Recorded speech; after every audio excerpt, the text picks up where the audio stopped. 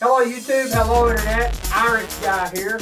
I uh, wanted to take a moment and I've got to put my cotton glove on to make sure everything is uh, uh, hunky-dory when I do the coin review.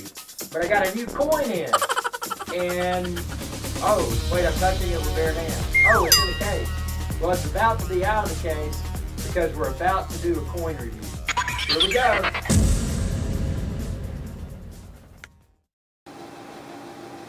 Hey everyone, back in uh, my fine studio with another example of a Morgan silver dollar.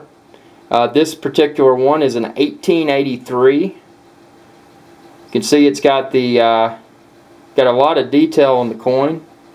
It says E pluribus unum. It's got some stars. It's got a face and it says Liberty. Um, this particular uh, coin is circulated as you can tell by looking at the condition. It's got quite a bit of scratches and uh, and wear and tear uh, from the uh, from the decades. And you can see actually a big scratch right there on the chin. So it's not in perfect condition, but it is a great a great tool for uh, a great vehicle rather for investing in physical silver.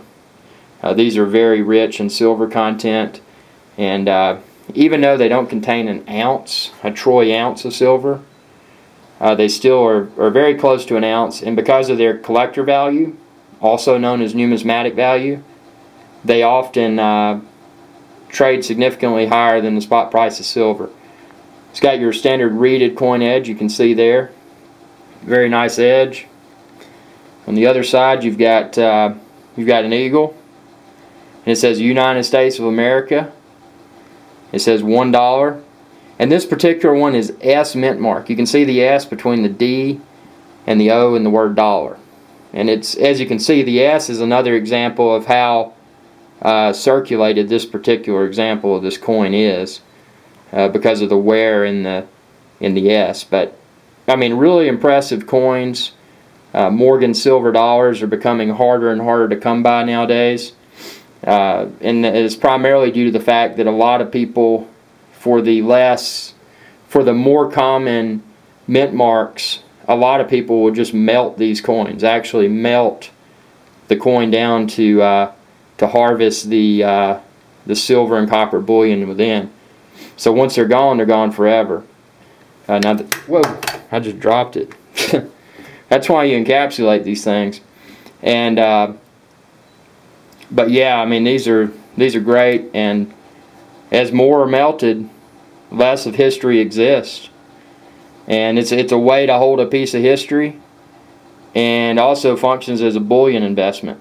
So, you know, if you like precious metals, this is a this is a great vehicle for for uh, becoming involved. I would I would firmly suggest staying away from ETFs, exchange traded funds.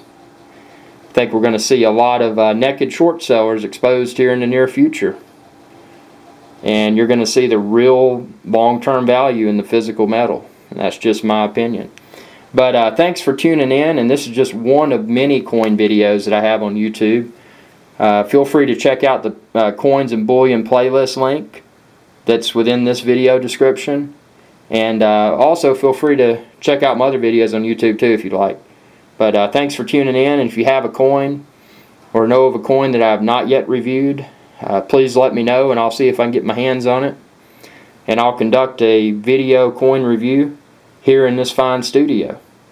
And uh, thanks for tuning in.